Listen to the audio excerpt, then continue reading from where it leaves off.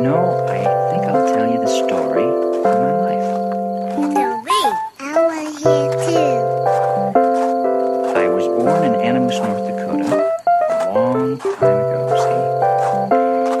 And now I'm lucky enough to be here with you.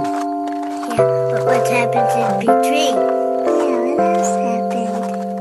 Well, it uh, went pretty much like this. Were